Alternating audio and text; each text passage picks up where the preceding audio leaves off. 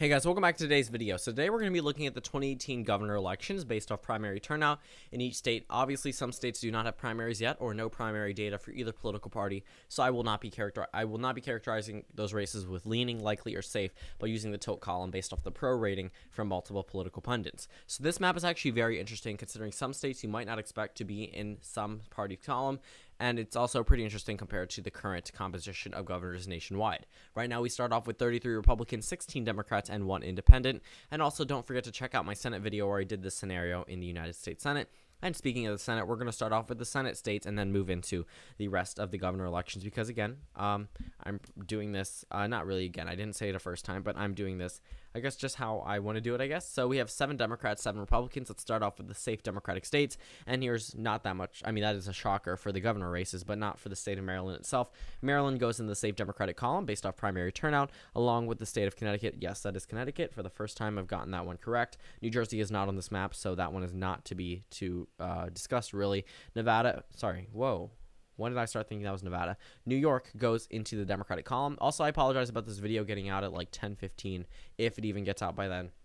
But we have 10 Democrats now. New York goes to the Democrats based off turnout. Vermont as well, which currently has a Republican incumbent. Again, another state uh, that could be a little bit shocking. And Maine as well, going into the safe Democratic column. Again, another interesting thing there. Over in Minnesota, another safe state for the Democrats based off primary turnout. And then we go over to uh, New Mexico, and Hawaii. So pretty much 15 Democrats and 7 Republicans. Uh, around the same numbers as what we see on the current map. Let's go over to the likely Democratic states. So Wisconsin, which doesn't seem a little uh, off compared to where we see it before. So unfortunately, I do not have, yeah, I do not have the toss-up uh, characterization on my screen 100%. So I'm going to have to readjust it there. And now we can move back and find the likely characterization. And Wisconsin goes into the likely Democratic column based off turnout and West Virginia does as well, but West Virginia is not having a governor election until 2020. Pennsylvania goes into the leaning Democratic column along with Michigan. Keep in mind, these are the three states that Donald Trump won that landed him the presidency back in 2016. So uh, Wisconsin, Michigan, and Pennsylvania all go to the Democrats, now improving their numbers from 16 to 18, but we're not done just yet. Now for the tilt Democratic column, Nevada tilts by a mere 4,000 votes. The Democrats got 144,000 votes here, and the uh, GOP 140,000. But in the Senate, it was even closer, decided by 1,000 votes, but still going to the Democrats. A tilt Democratic state by that characterization. But now we can go ahead and look at the safe Republican states. So let's go ahead and start off in Tennessee, a safe Republican state. Um, Mississippi not on this map.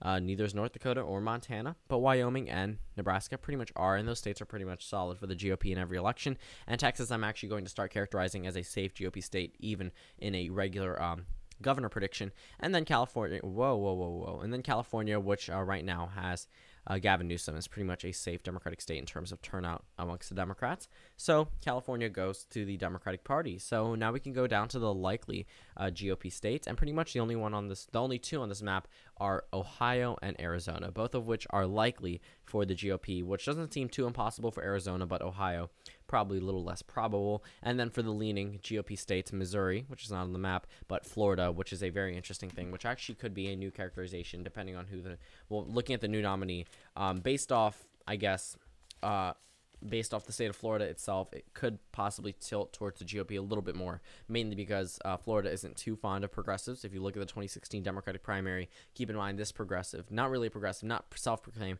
Democratic socialist, but backed by Bernie Sanders, he won this nomination by 1% over what Bernie Sanders got in 2016 when Hillary Clinton won to uh, two thirds of the vote in Florida in the Democratic primary. But let's go ahead and take a look at some other safe Democratic states. So Illinois pretty much expected a uh, safe Democratic state in presidential elections, but currently has a Republican incumbent. But here's a big one: Iowa goes into the safe Democratic column. For some reason, there were more Iowa Democrats who voted in the primary uh, by a considerable amount. So Ohio, that's not Iowa, sorry, um, pretty much the, both, both of them vote the same way in every election season, but Iowa goes towards the Democrats in the safe column.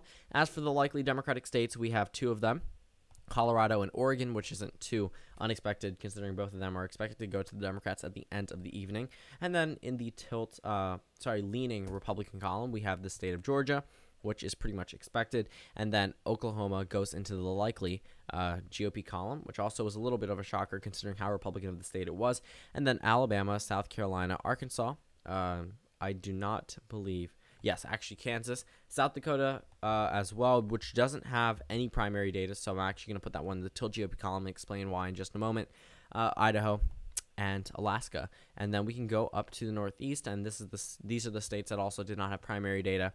So right now, Rhode Island. Um, going to the tilt Democratic column based off the pro rating, which is why I put South Dakota in the tilt GOP column based off the pro rating uh, from multiple political pundits. Massachusetts goes into the tilt Republican uh, column based off uh, political pundits rating, and then along with New Hampshire, which gives the GOP 25 total seats. So pretty much that finishes off our map with 25 Democrats and 25 Republicans. A lot more blue on that map than you see here. A lot more red here. Boom, a lot more Democrats on this map. So 25 Democrats, 25 Republicans has how we finish off our map. Thank you guys for watching this video. Comment down suggestions below, and I'll see you all tomorrow.